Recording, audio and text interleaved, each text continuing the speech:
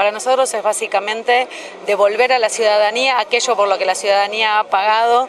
cuando eh, hay casos como este tan claros este, de lavado y de defraudar al fisco.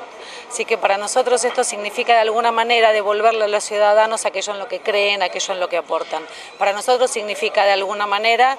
poder recorrer el país, mostrar los contenidos maravillosos que tenemos en cada uno de nuestros rincones, mostrar el trabajo de artistas, de atletas, de deportistas, de maestros, de gente que trabaja profundamente y que muchas veces nosotros al no tener móvil desde los canales Encuentro, Pacapaca y Deporte B tenemos alguna dificultad para hacerlo. Así que lo tomamos encantados cuando el juzgado nos, nos informó. También sabemos que no está en buenas condiciones, que tuvimos que arreglarle la mecánica y que vamos a tener que trabajar con el equipamiento, pero siempre significa devolver a la ciudadanía aquello que la ciudadanía ya ha puesto. Esto sigue su proceso, esta es una primera parte, eh, hay pruebas suficientes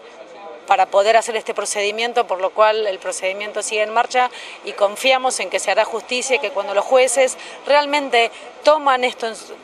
jueces probos, honestos, responsables, comprometidos con su, con su ciudad, con sus ciudadanos, toman esto y lo, y lo llevan hasta las últimas consecuencias, hay resultados. Se puede, se puede recuperar los bienes del Estado, se puede hacer pagar a aquellos que han malversado los fondos y para nosotros es una enorme tristeza que esto haya sucedido, pero una enorme esperanza saber que esto puede cambiar.